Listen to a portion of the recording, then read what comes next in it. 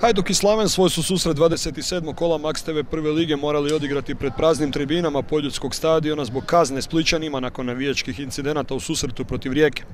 Spličani su ovaj dvoboj dočekali s tri boda osvojena u prošlom kolu u Zaprešiću i pobjedom su htjeli potvrditi taj trijumf, te ostati u borbi za treće mjesto sa Osijekom. Slaven u šest proljetnih kola nije ostvario pobjedu i sa samo dva boda ne može se reći da su igrači Željka Kopića u bajnoj formi. Uz to što se gostovanja protiv Hajduka tiče, nikad nisu slavili na poljudu, pa i taj pritisak bio na njihovim leđima. Domaći strateg Žan Kariljo u dvoboje morao bez Futača, Nižića, Juranovića, Bencuna, Josipa Bašića i Kalika, dok Željko Kopić nije mogao računati na Gregorinu i pokrivača.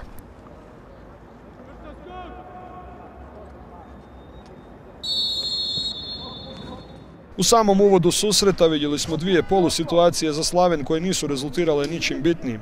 Tek u 29. minuti Bašić je zaprijetio za Hajduk i slobodnog udarca sa 18 metara, udarac je otišao pokre gola.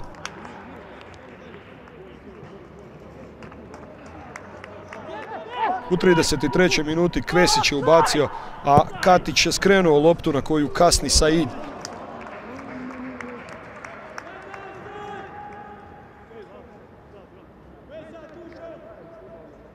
Još u 44. minuti dogodio se jedan kontakt Muse i Saida u 16 tercu Slavena, Mlakar je pustio igru.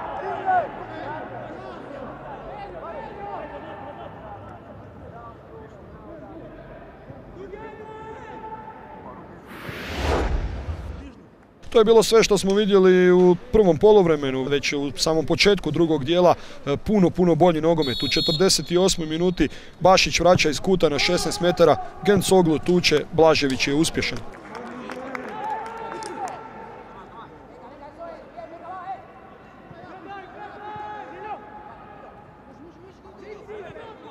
Tri minute kasnije pokušava Vlašić s desne strane iskosa. Ovoga puta Blažević mora odbiti loptu u novi korner.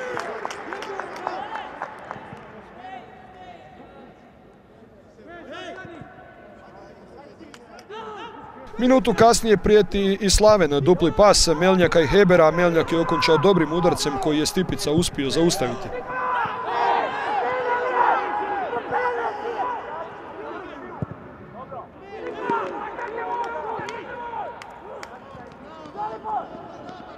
Kariljo je u drugom polovremenu u igru ubacio Hamzu Barija i Ohanzu u 66. minuti. Baš preko Ohanze domaći su došli u vodstvo. Erceg je gurnuo loptu u prostor, Ohanza bio brži i od Muse i od Blaževića i nije imao problema uputiti loptu u praznu mrežu.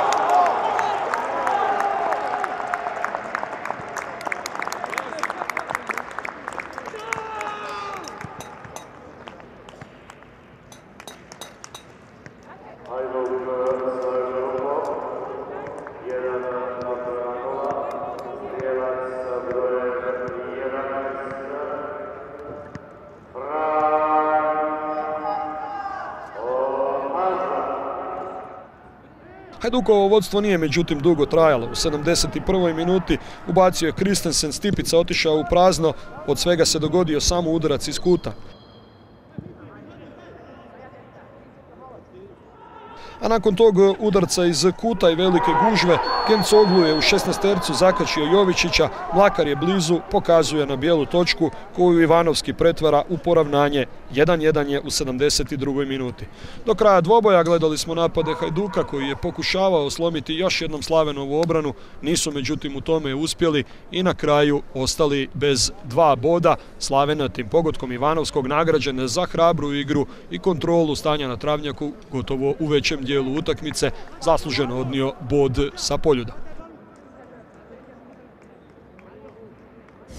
Mislim da smo odigrali dobru utakmicu i ona ide u kontekst svih ovih zadnjih koje smo, koje smo igrali dobro i jednostavno je bilo, bili su rezultati nešto slabiji. Ovo danas moramo biti zadovoljni sa bodom, iako kod 1-1 imali smo nekakve dvije, tri situacije gdje smo morali bolje otići u tranziciju, odraditi taj kontranapad, ali ok, zaista nakon 1-1 na poljudu i nakon onako primljenog e, gola bilo bi malo bez veze ovoga, pričati o nekakvom nezadovoljstvu.